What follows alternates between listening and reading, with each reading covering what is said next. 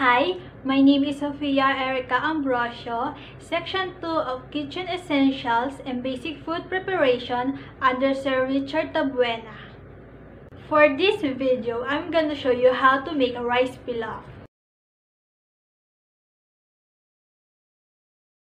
Butter, white onion, salt, pepper, jasmine rice, chicken stock. Put the butter in a saucepan.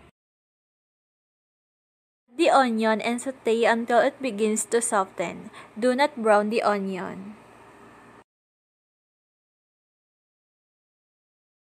Add the rice, stir over low heat until the rice is complete coated with butter and the outside of each grain starts to turn translucent.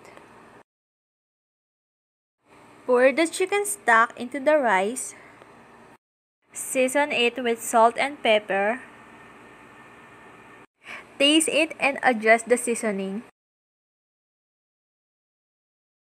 Transfer the rice in a baking pan and cover tightly with foil.